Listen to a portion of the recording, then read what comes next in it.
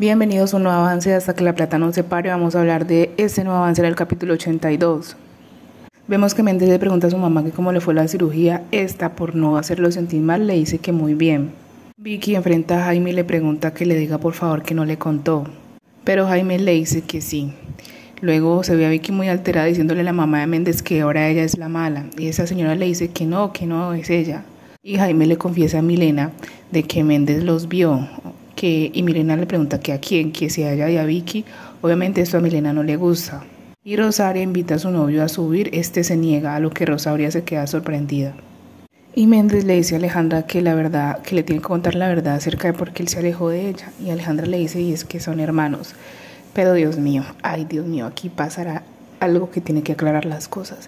¿Qué opinan ustedes? Déjenmelo saber en los comentarios.